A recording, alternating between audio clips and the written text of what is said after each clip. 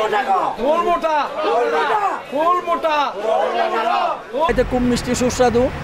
পেটটা বর্ষে মিষ্টি লাগতেছে। গ্রীষ্মকালে নানা ধরনের ফলমূলে ভরপুর থাকে ফলের বাজারগুলো। প্রবাদে রয়েছে জ্যৈষ্ঠ মাস মধু মাস। এই মাসে বিভিন্ন ধরনের রসালো মিষ্টি ও সুগন্ধি ফলমূল পাওয়া যায়। সবচেয়ে বেশি পাওয়া যায় কাঁচা পাকা আম কাঁঠাল লিচু জাম তরমুজ পেয়ারা আমড়া লটকন ও বেল সহ অনেক মৌসুমী ফল। স্বাদ ও পুষ্টিতে অতুলনীয় জনপ্রিয় ফল আম।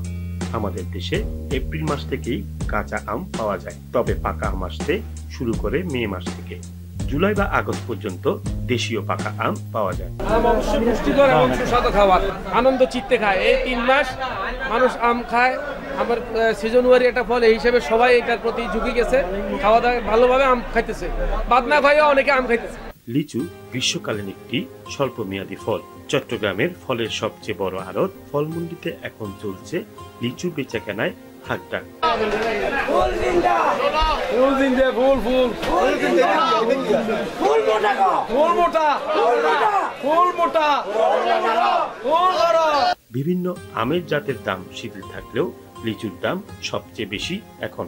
দাম যাই হোক এসব মৌসুমী ফল খেতে সুস্বাদু ও শরীরের জন্য পুষ্টিকর। আর তাই সবারই খাওয়া উচিত বলে মনে করছেন এসব আড়তদার লিচু হচ্ছে আমাদের সিজনি ফল। এটা এখন বর্তমানে বড় মৌসুম। এখন এটা সুস্বাদু ভালো স্বাদ ভালো। এ আর থাকবে চার পাঁচ দিন। এই সময় না খেলে আর খাবে কখন? এছাড়াও খুচরা ফলের দোকানগুলোতে আমের পাশাপাশি লিচু কিনতে সবচেয়ে বেশি চাহিদা লক্ষ্য করা গেছে। রসালো ফল বছরের প্রথম যখন লিচু পেলাম তখন নাতির জন্য কিনলাম। ফল খাইতে খুব মিষ্টি সুস্বাদু পোকা জোকা নাই এখন দেখলাম যে খুব ভালো লাগতেছে আম ও লিচুর পরে জনপ্রিয় গ্রীষ্মকালীন ফল কাঁঠাল। এই ফলের প্রতিটি অংশই খাদ্য হিসাবে ব্যবহৃত হয়। তাই কাঁঠাল দেশের জাতীয় ফল। কাঁচা কাঁঠালে ফাইবারের পরিমাণ পাকা কাঁঠাল থেকে অনেক গুণ বেশি থাকে। তাই ডায়াবেটিক রোগীদের জন্য কাঁচা কাঁঠাল বেশ উপকারী। জ্যৈষ্ঠ মাস ফলের মাস যেটা বর্তমান জাতীয় ফল। কাঁঠাল রোগ প্রতিরোধ ক্ষমতা বৃদ্ধি করে। আপনারা সবাই কাঁঠাল খাবেন।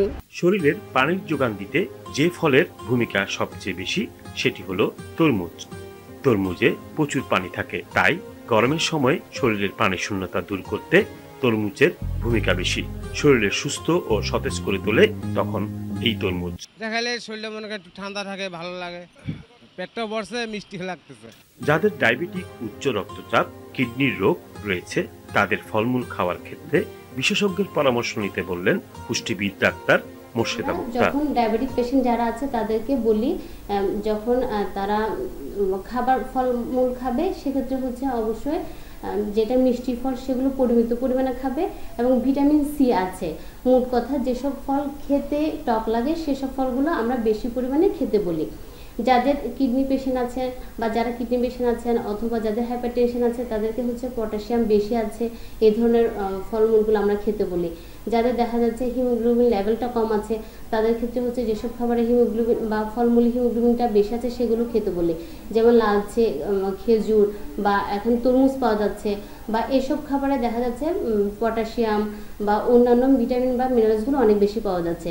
সেই হিসাবে আপনাদের বলব, যদি আপনাদের কোনো স্পেশাল কোনো রেস্ট্রিকশন না থাকে বা ডিজিজ কন্ডিশন না থাকে বা কোনো ধরনের কোমরবিডিটি না থাকে যেটাতে হচ্ছে মানে ইলেকট্রোলাইটের ইমব্যালেন্স থাকে অথবা ইলেকট্রোলাইটের ব্যাপারগুলো ব্যালেন্সিং ব্যাপার না থাকে তাহলে আপনারা নিঃসন্দেহে উম, অবশ্যই মৌসুমি ফলগুলো নিতে পারবেন।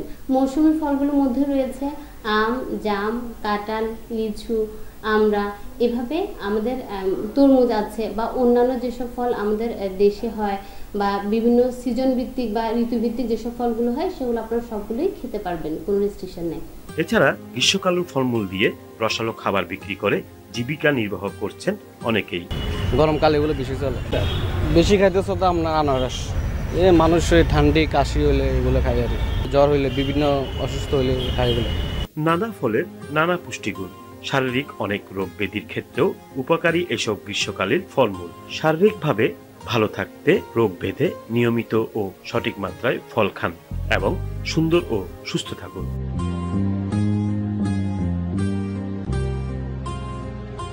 Rumen Chowdhury Chattala TV.